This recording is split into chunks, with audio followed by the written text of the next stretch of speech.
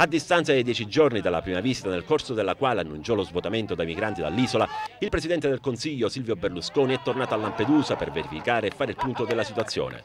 L'aereo del Premier è atterrato all'aeroporto lampedusano intorno alle 15. Ad attenderlo il sindaco delle Pelagge Bernardino De Rubeis, il prefetto di Palermo Giuseppe Caruso, quello di Agrigento Francesca Ferrandino.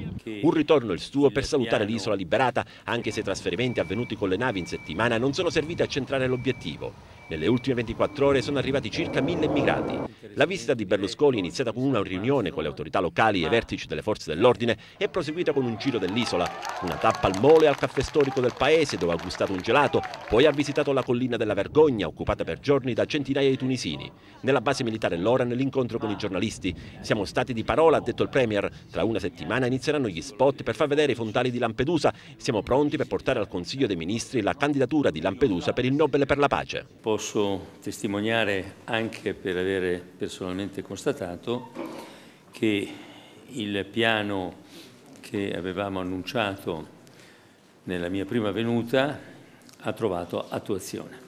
Poi il Presidente del Consiglio ha raggiunto la spiaggia dei Conigli. Nella cala più conosciuta dell'isola si trova una villa già di proprietà di Domenico Modugno. Berlusconi sarebbe intenzionato ad acquistarla. Resta da capire se rinuncerà alla villa Due Palme già comprata nei giorni scorsi. Nel corso della visita del Premier sull'isola sono arrivati altre due carrette del mare cariche di disperati. Gli sbarchi così come i trasferimenti continuano. Nel pomeriggio è approdata al largo di Porto Empedocle la nave San Giorgio della Marina Militare che la scorsa notte a Lampedusa ha imbarcato 285 immigrati di varie nazionalità. La nave non ha potuto attraccare all'interno del porto e il trasporto di migranti è stato effettuato con mezzi anfibi.